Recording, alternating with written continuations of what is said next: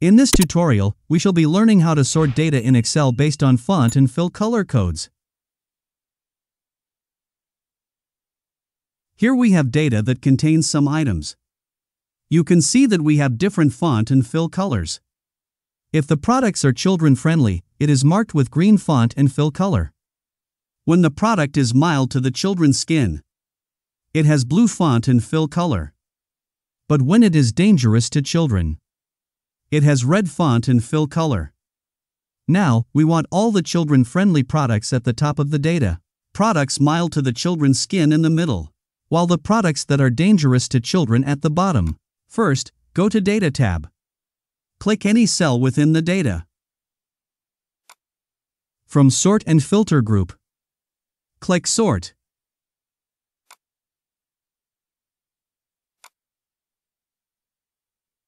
In Sort By, I choose Product ID.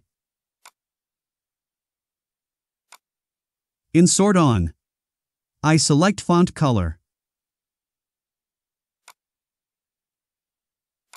Under Order, I select Green.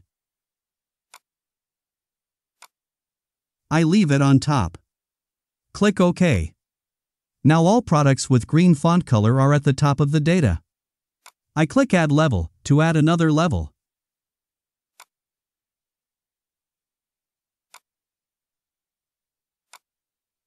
Here, I select Font Color. Click Blue. Leave it at the top. Click OK. Now blue is in the middle. I want to use cell color. I go to Data tab. Click Sort. Here, I select Details of Product. I click Cell Color. Select Blue. Leave it on top. Click OK. Add another level. Select Details of Product. Cell Color. I want red color in the middle. I select red. Leave it at the top. Click OK. We have green at the bottom. Hope you have gotten some values from this tutorial. If you did, please like, subscribe, and share with family and friends.